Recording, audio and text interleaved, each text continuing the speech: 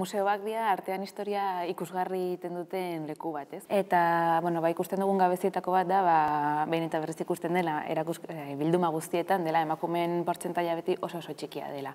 Eta hori dela eta ba, gure erakusketan helburetako bat izan da aztertzea, ba, zergatikan, ez? Portzentaia txiki horren zergatiak non, non dauden, non dauden erroiek. Erakusketa hau Santelmo, Santelmo Museoaren gombite batetik jaio zen, Orduan erakusketak egiten duena da emakumezko hoien lanei balioa eman, bai.